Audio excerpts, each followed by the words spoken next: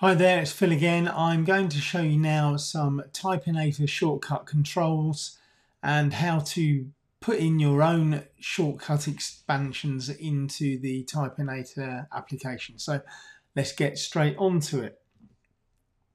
So here we have the Typinator interface just here and I'm working on a set called the demonstration set. Now this set is part of the abbreviation sets that I have and the abbreviation sets are shown on the left hand side of the interface as you look here. And you can turn them on or off as you want. So you might have an abbreviation in one set that is very similar to an abbreviation in another. And in that situation where there's a clash then Typinator will tell you and it'll give you a little uh, exclamation mark and say that it's actually used in one of the other sets. So your choice is then to either change the uh, abbreviation or to just turn it off uh, or leave it so that the upper abbreviation takes precedence. So because my demonstration set here is the toppermost of my abbreviations, then that's the one that would take precedence.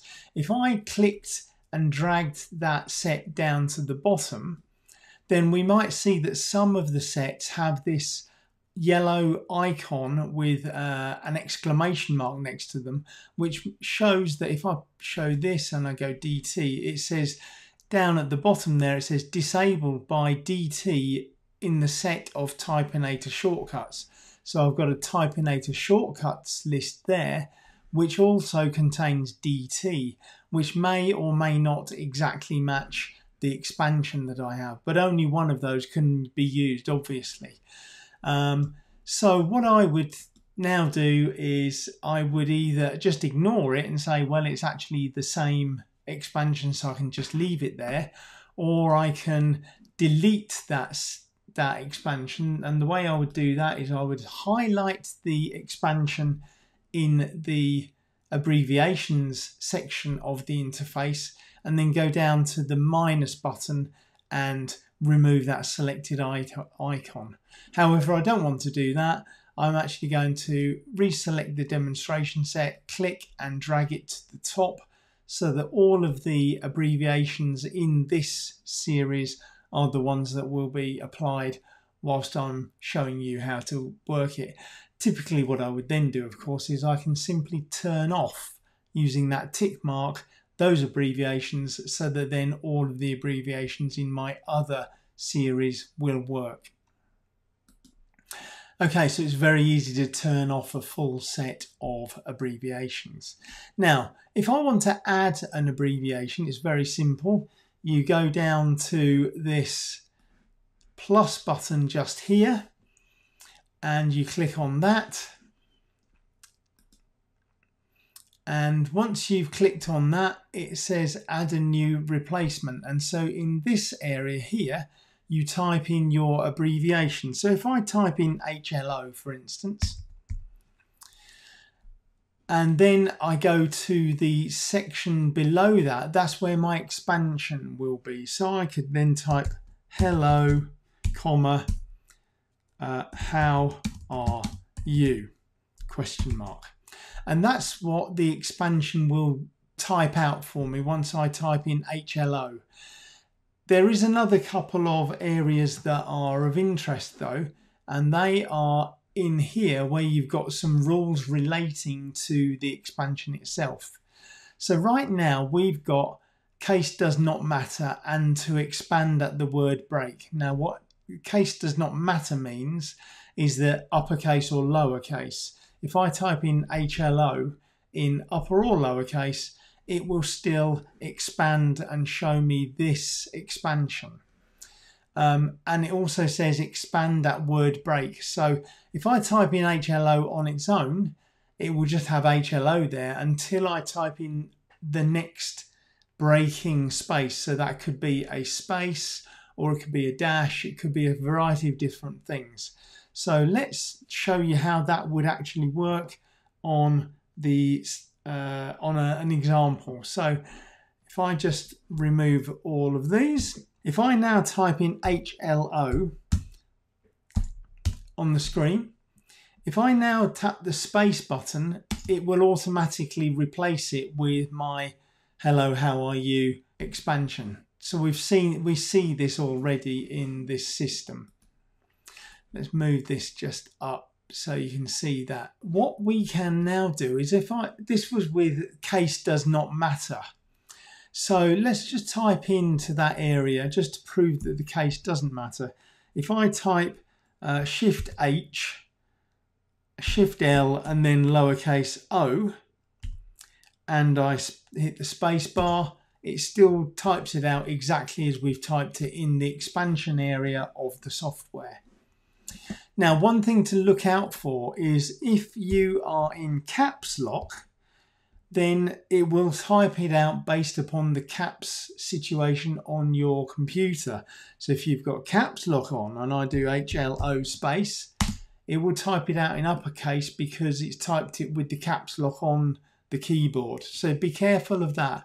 So even though it says case does not matter here, it kind of does if your caps lock is on.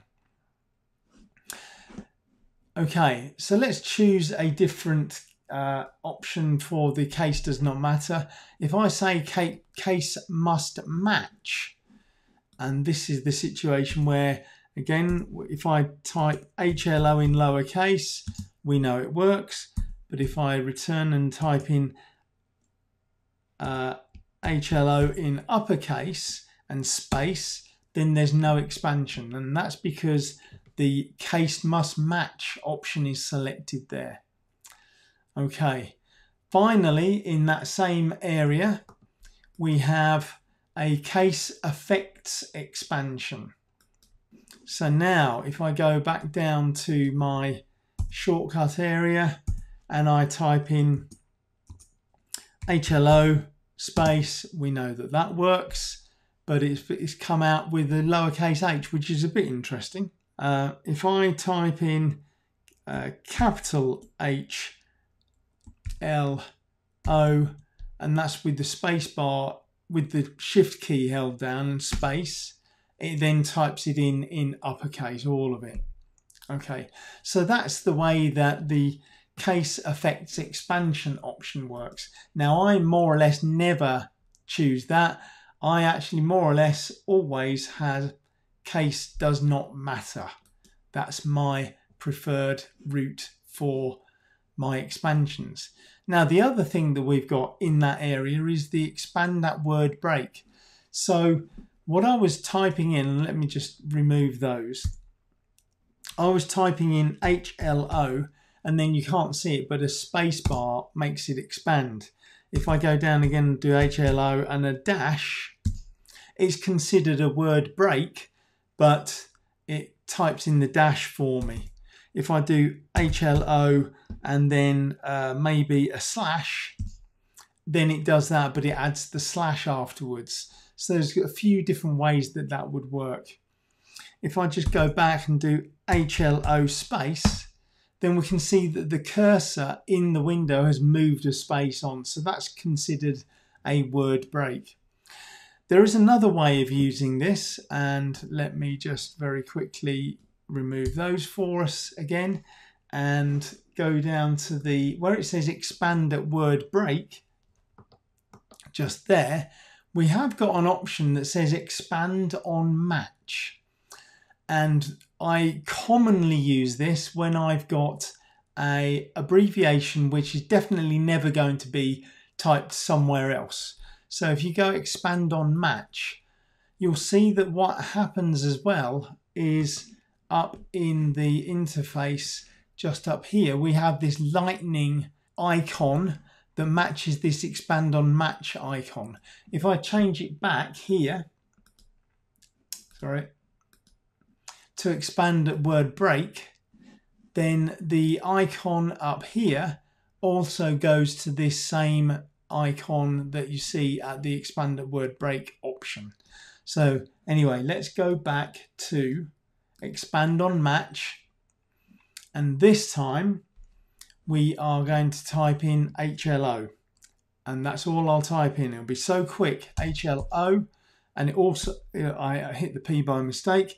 But if I go down to HLO, it automatically types in that expansion and it leaves the cursor right next to the last letter of the expansion. So in my expansion area, I had nothing else after that U. If I put in a space after U in the expansion area, you can see just there that there is a, a gap in there. And now I type into the new window HLO, you'll see that the cursor here you can see in there that there is a space after the question mark. So it does match exactly what you have in the expansion area of the Typinator interface. So I'll just go back there. Hopefully that's clear to you. So that is the most important two things that you'll see when you're setting up your new Typinator expansions. Keep a close eye on expand on match and expand at the word break because that is really important and it can really help you in getting your expansions to work much more quickly for you as well. But you'd also find that adding a, a word break will help you get even more expansions where you might want a variety of different things typed. I can help you with more Typinator expansions in the near future. So keep an eye out on this channel and you'll see some more tips as we go along. Thanks for watching.